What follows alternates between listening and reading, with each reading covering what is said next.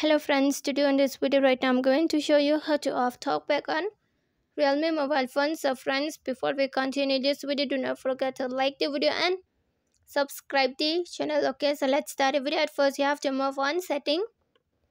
Just click on setting. When you click on setting you have to tap double okay? See? After that you have to scroll with two finger like this just scrolling with your finger and here on the down you are going to find this accessibility option. So click on accessibility then tap double then here you have to click on this talkback then tap double then here click on this icon that you use talkback and here is the icon click here. You have to tap double when you tap double no?